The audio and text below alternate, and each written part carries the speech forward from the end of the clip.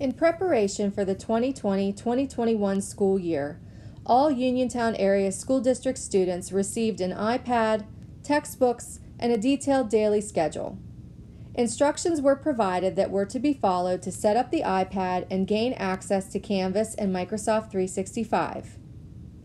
If you have not yet set up your iPad, those instructions can be found at www.uasdraiders.org under the Parents and Students tab. Select iPad, Canvas Resources for Students and Families. Then select the first option, How to set up your district-owned managed iPad for the first time with Canvas login information. Once those steps are complete, it's time to learn how to navigate the system. The detailed daily schedule that was provided gives a breakdown of course subjects and their corresponding class times. Students are to follow the schedule as they progress through their synchronous instructional day in Canvas. As you can see in the sample schedule on your screen, this student would first attend a special service course from 9 o'clock until 9.45. Then she would go to math class from 9.45 to 11, then science, then ELA, and so forth. So let's take a look at how a student will progress through the instructional day in Canvas. You will go to the Google Chrome app on the iPad to log into Canvas. Once logged in, the first place that you will need to go is the dashboard. On the dashboard, you will see various cards that correspond with a specific subject. If you do not see the cards, click on the three dots next to dashboard and select card view. For this demonstration, you'll see I only have a few cards listed on my dashboard. Students will have cards for each subject for each time slot of the day. So let's say that my daily detailed schedule has me attending the secondary demo course from 9 o'clock until 9.45. I click on the course card and it takes me to the home page of that course. Once you are on the home page, you will see the red live icon with a link to join the live session. Click the link and the Microsoft Teams app will open. This is where students attend the live instructional session for that specific course and time. The student will click Join Now and then will wait in the lobby until the teacher admits him or her. Cameras are off and microphones will be muted, but students will have the capability to raise their hands, type in the chat box, and speak to the teacher through the microphone when needed. Let's see what it will look like when I join the meeting. If I click Join Now, I will wait for the teacher to let me in.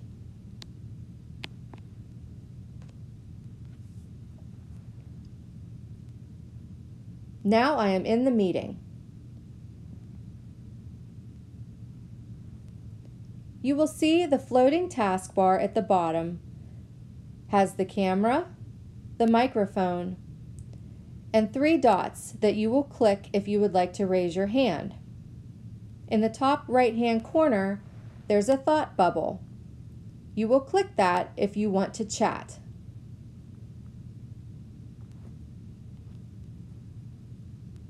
If I need to speak, I can click on the three dots on the floating taskbar then select Raise My Hand. This alerts the teacher that I have a question and my microphone will be turned on so that I can speak. If I would rather type into the chat box, I will click on the thought bubble in the top right hand corner and this screen will open. I type directly in the box and then click the purple arrow to submit. The teacher will be alerted that I posted a message and can reply to me.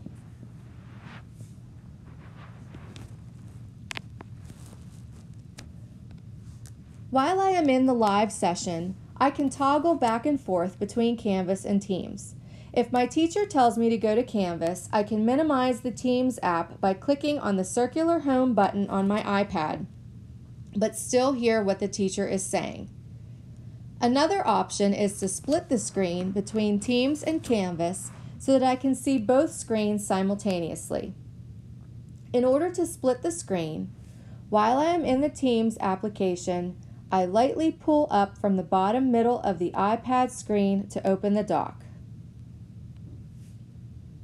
Then I press and hold the app that I want to open, which in this case will be Google Chrome. Once I press onto the Chrome icon, I will drag it to the right.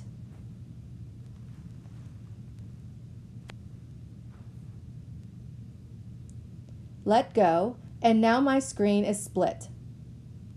If I want to go back to one app in full screen, I gently swipe from the center of the screen to the right until the second app is out of view.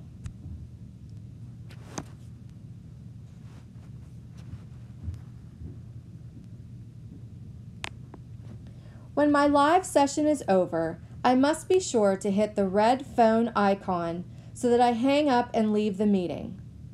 Then I look at my daily schedule to see what class I have next. If my next class is social studies, I will click on that card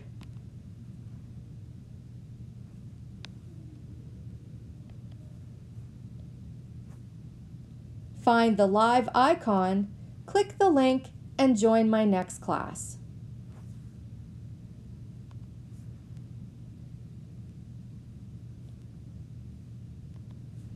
Now let's take a look at a few features within Canvas.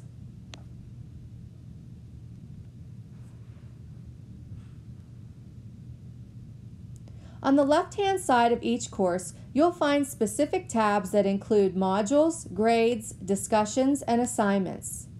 Your teacher will help you navigate through these tabs as you progress through each course. Modules is where you will find the content and activities for the week. When I click on Modules, it takes me to this screen where I can see the list of activities. I can click through the module, read the content presented, and complete everything that is assigned. Here is an example of a discussion board. A discussion board allows teachers to pose questions to students, gather their responses, and enable them to interact with one another. To submit a reply, click Reply,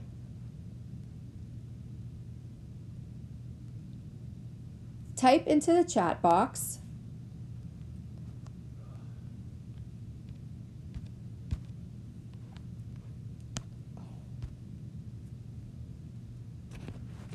and when you're ready, click Post Reply.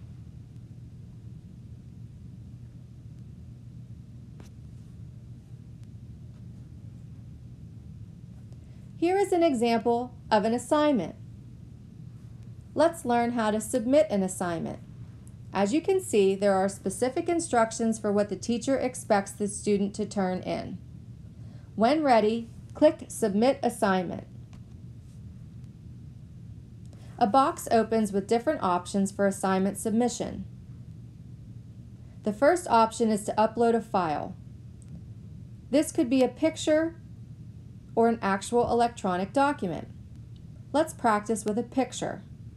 On your iPad, click Choose File, then Photo Library. Then select the photo that you would like to upload and push done. Your photo is now attached. You can click submit assignment and it will be sent to the teacher to view. Another option is a text entry. Click on the text entry tab. You can type in the box and click submit.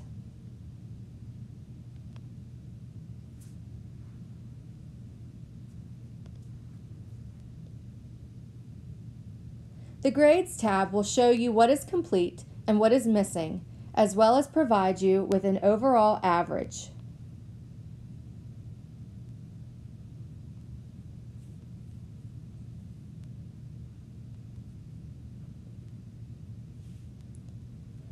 Another important place in Canvas is the inbox. The inbox is where students can send and receive messages from their teachers. Messages can be posted to an entire group or individually. The calendar is where you will go to find links to archived live sessions as well as due dates for assignments. When I click on the calendar, you'll see that there are different color-coded boxes that correspond with each of my classes. As you select boxes, your calendar will populate. You can also deselect boxes so that you only look at a specific class. It might be helpful to deselect boxes so that you are only looking at one calendar for one course at a time so that you do not become confused. As I mentioned before, you can also find archived live video sessions in the calendar. For example, if something prohibits a student from attending the live session at its regularly scheduled time, he or she can go back and watch that class at a later time. In the calendar, you will locate the date of the class that you missed, and you will see that a link has been provided for that day's video.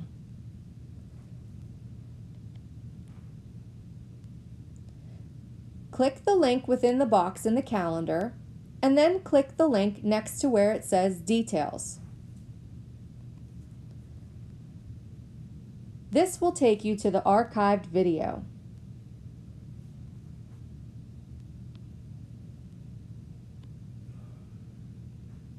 To download the video to your iPad to watch without Wi-Fi, click the three dots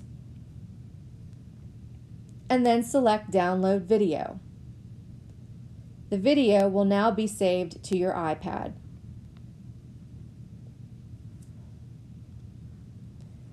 If you do not have full-time internet access and need to visit a hotspot to download content, here are the steps that you must follow. In Canvas, click on Account. Then click Settings.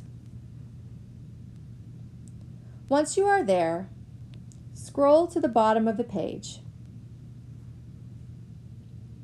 At the very bottom, you will see there's an option that says Download Course Content. Click the button and the content will now be downloaded to your iPad and you can view it offline.